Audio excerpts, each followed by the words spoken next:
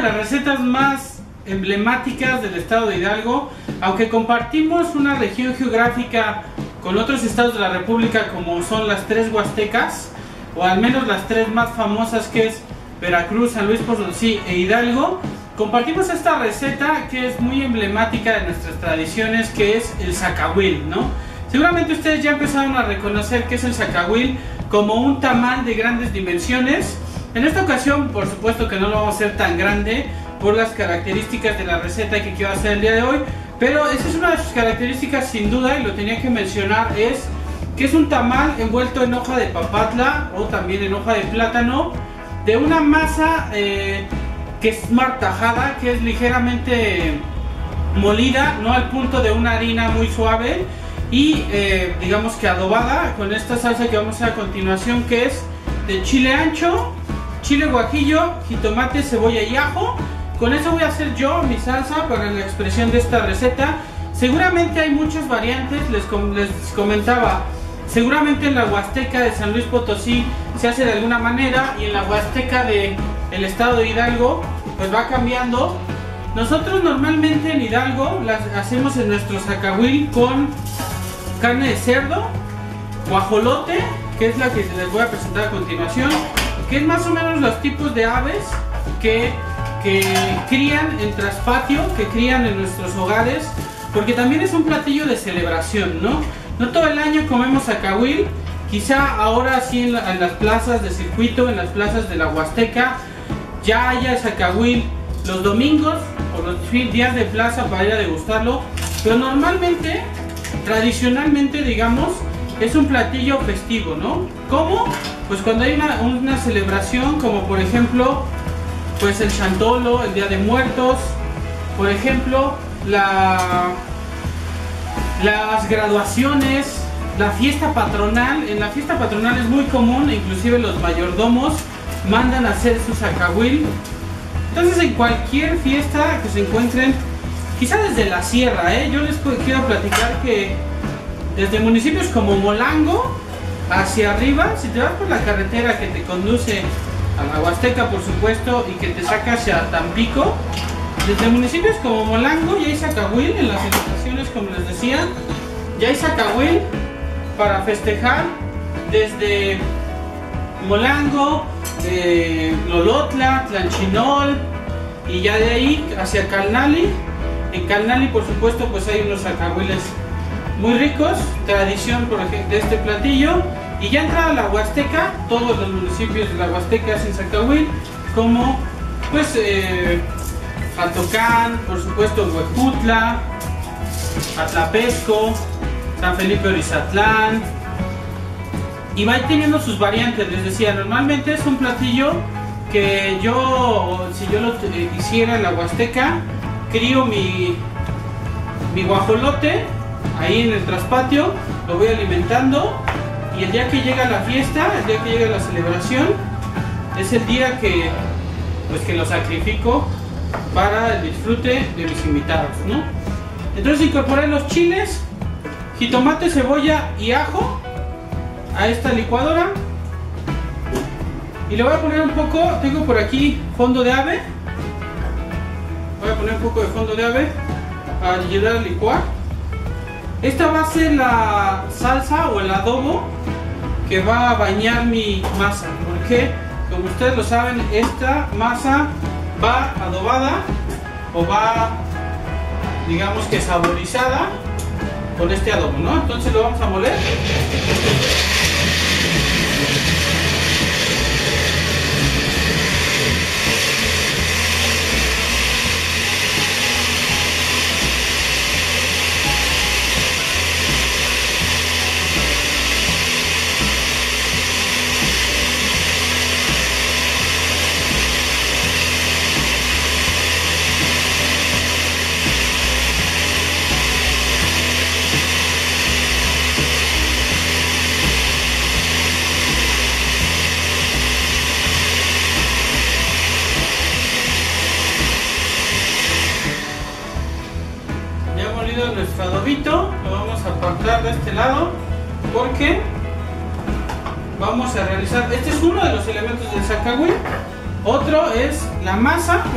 A hacer nuestra masa y la vamos a hacer a la manera de un tamal tradicional que es batir la masa. Yo me voy a permitir irme a lavar las manos porque quiero hacerlo con las manos. Entonces ahorita los veo.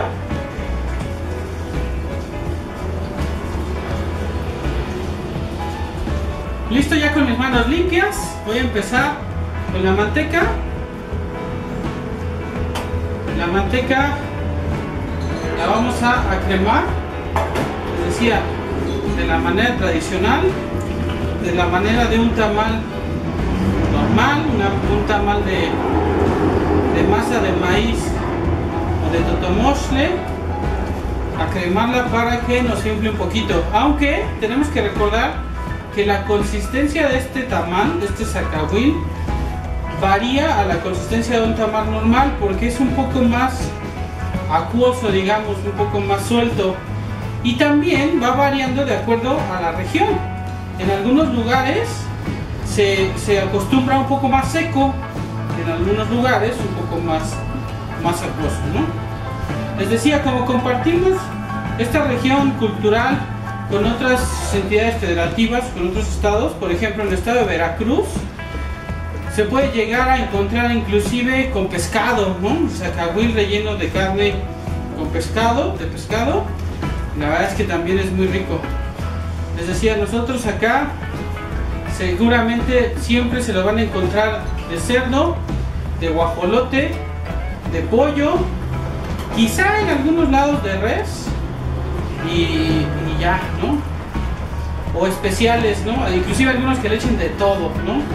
Ya exigentes. Ok, nuestra manteca y vamos a incorporar poco a poco nuestra harina de maíz. Les decía, otra característica del zacahuil es que la masa que se utiliza, o la más bien la molienda del maíz del Nixcomin, es martajada, ¿no? En este caso, en la ciudad de Pachuca difícilmente vamos a encontrar el, maíz martajado a menos de que ustedes pongan su nixtamal, lo muelan si quieren en un molino de grano o lo lleven a un molino y ahí se le ajusten y les, hagan su masa al gusto, ¿no? Al, al punto de quiebre que ustedes quieran. Entonces, pero en este caso lo vamos a hacer con una harina, pues digamos que estándar. Le voy a vertir todo. Han visto que se ha espesado mucho. Entonces, no me preocupa porque después le voy a vertir la salsa y es cuando se va a volver a hacer acuosa, ¿no? Se va a volver a aligerar, a hacer aguada. Entonces ahorita la voy a unir a mi manteca Aquí le voy a incorporar un poquito de sal para que ya mi masa vaya agarrando sabor y no se me olvide al final. Entonces, les platicaba el zacahuil. Sí somos famosos los hidalguenses por nuestro zacahuil. No obstante que hasta uno de los famosos compositores de Guapango de esta región sierra lo menciona, eh, digamos que en su más grande obra que es el hidalguense Estoy hablando de Abundio Martínez y dice que para hablar de la Huasteca hay que comer sacahuil y carne seca, ¿no? Con pemoles del lugar. Algo así dice. Quien le guste los guapangos lo recordará perfecto. Pero es uno de los platillos que se mencionan en las canciones del imaginario popular en el estado de Hidalgo, por supuesto, en la región huasteca.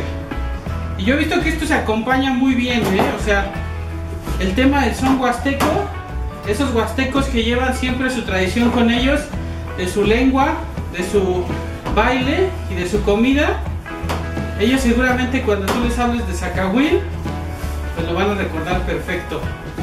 A continuación yo voy a hacer, voy a adobar mi masa entonces, que es la otra de las características del Zacahuil.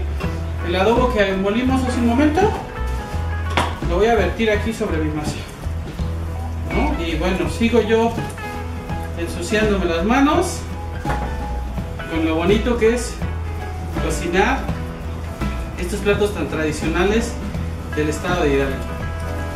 Aquí vamos a hacer que nuestro adobo se incorpore a nuestra harina, a nuestra manteca.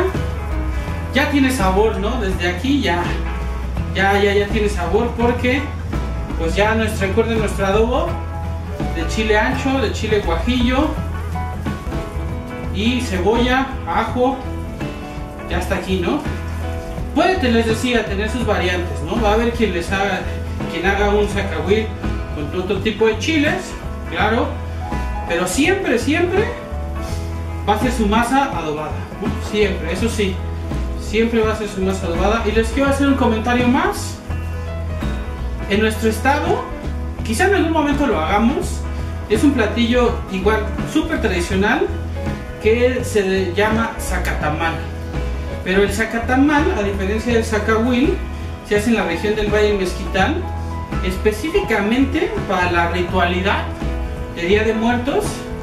Me ha tocado que la señora Porfiria, cocinera tradicional del municipio, amiga entrañable de un servidor, quien me ha enseñado muchas de las recetas de su región, me ha enseñado a cocinar el zacatamal, pero a veces eh, tenemos que, digamos que platicar la diferenciación de un zacatamal y un zacatahuil. Un zacatamal es este, más sólido, inclusive se rebana, o sea, se cose en el horno de, de piedra, de tierra, abajo, perdón, de tierra, como la barbacoa. Entonces su método de cocción es distinto, su consistencia es distinta y es específicamente, únicamente lo hacen en Día de Muertos, ¿no? Ese es el zacatamal del Valle Mezquital.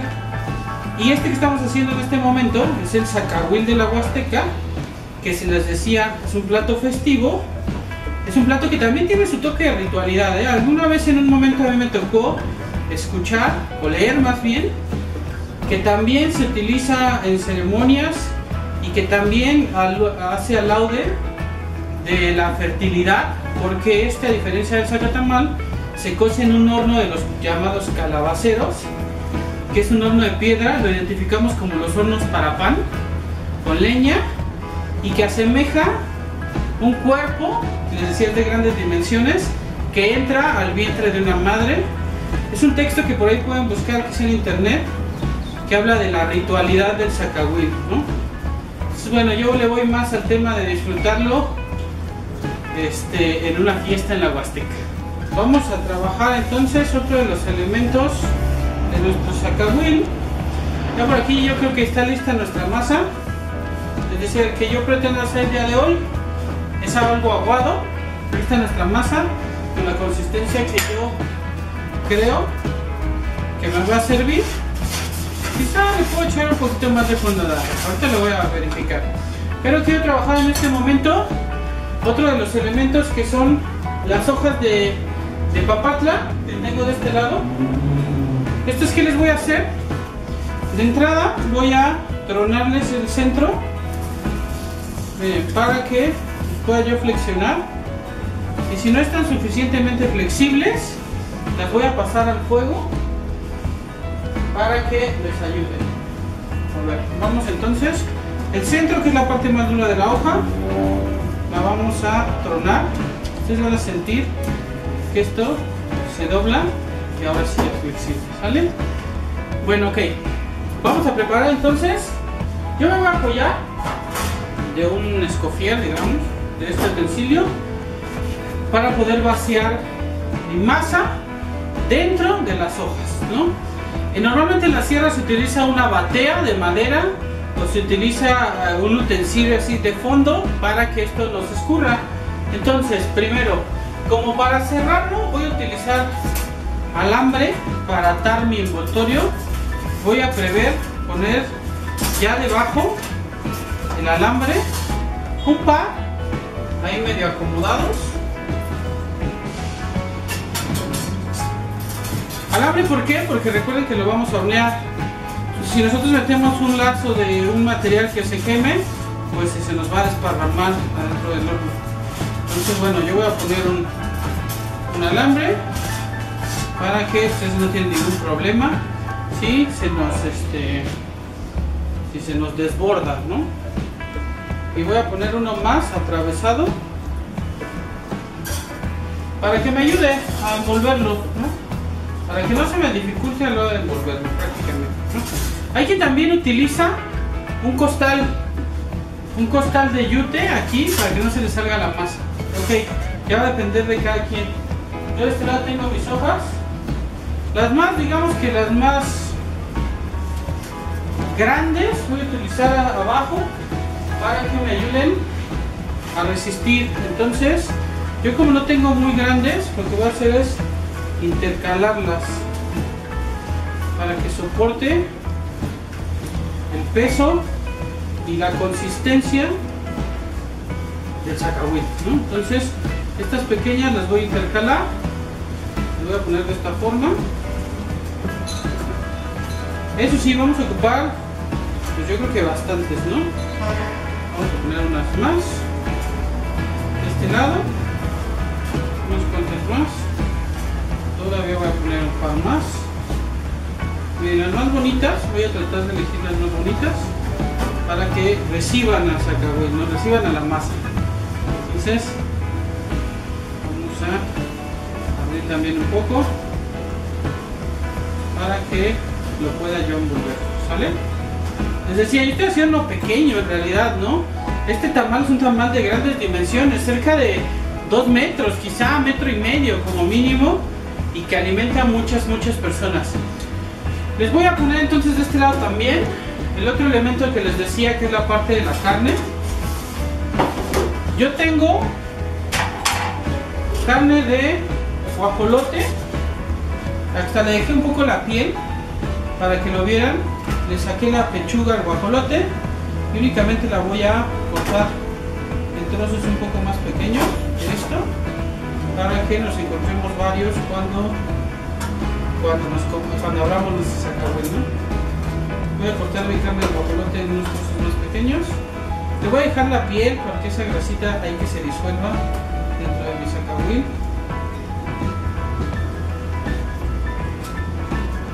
Y esta que tengo acá es carne de puerco. Voy a cortar en trocitos para que lo encontremos en el sacahuil. Ya que tenemos lista nuestra carne, la vamos a poner un poquito de sal. Y pues no nos queda más que armar nuestro sacahuil, entonces vamos a hacer esto.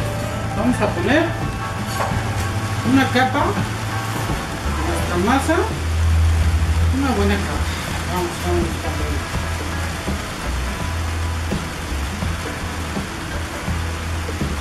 Una buena capa de nuestra masa y la carne. ¿no? Ahí va el, el guajolote. Vamos a poner una capa de una capa de masa más que va el cerdo nada que este, este sacahuil está muy generoso con ese cerdo y con esa con ese guajolote y el resto de nuestra masa.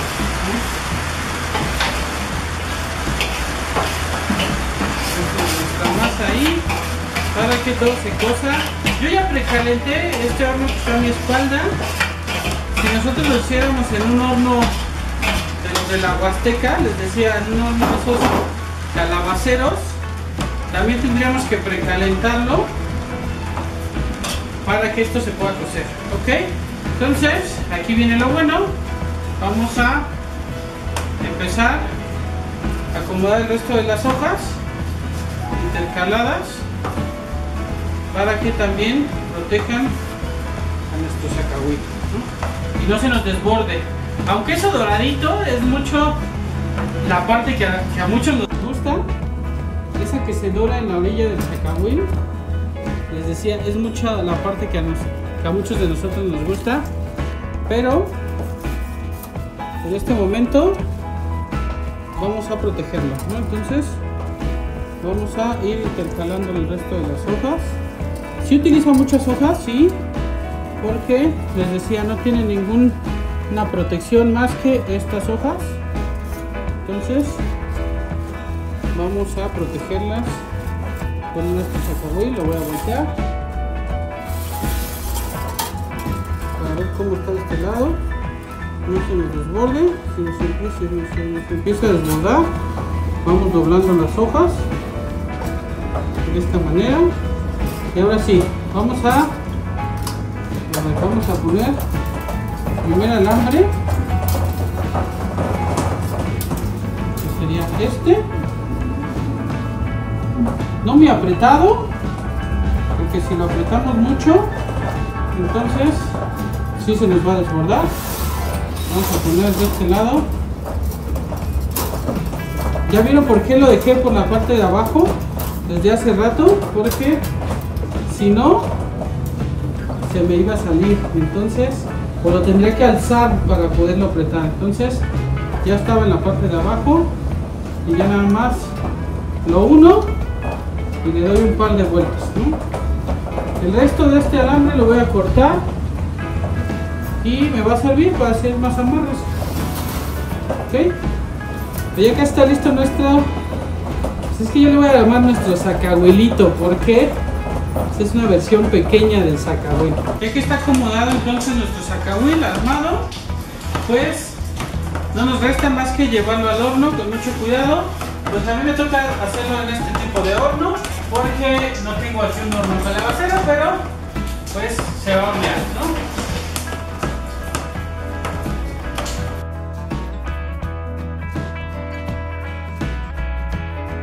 Pues yo voy a ver si mi sacahuil quedó.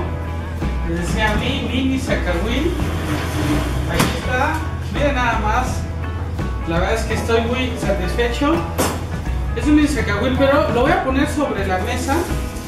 Así como llegaría a las mesas de las fiestas, ahí en la Huasteca. Ahí el sacahuil. Vamos a cortarle esta parte del alambre y vamos a descubrir sacahuil. Vamos a ver si es cierto. Vamos ver las primeras capas. Miren nada más. La verdad es que es una delicia. Está mucha, a mucha gente le encanta esta parte, que es la parte de doradito y los voy a servir aquí en este plato. Nada más el sacahuil con la carne cocida, el sacahuil estilo huasteca hidalguense y como en la huasteca yo lo voy a servir con unos cuantos chiles en vinagre. Siempre nuestro sacahuil allá se acompaña con chiles en vinagre. Y ahora sí, un plato festivo, un plato ritual, un plato tradicional. Esto que es el sacahuil de la Huasteca hidalguense.